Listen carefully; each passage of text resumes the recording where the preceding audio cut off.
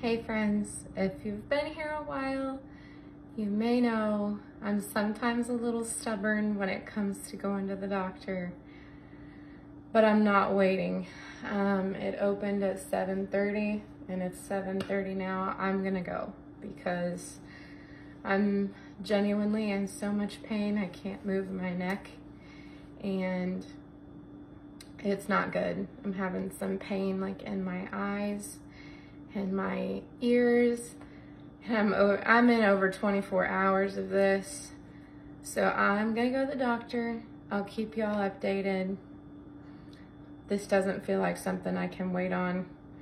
So I'm just gonna go first thing so that I don't have to sit in a waiting room for very long. At least it's the beginning.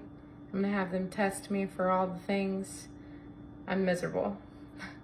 If you guys could say a prayer that this passes soon, I would so appreciate it because I am on over 24 hours of just feeling really unwell. We have plans tomorrow, probably not gonna happen at this point. I love y'all. I love y'all so much.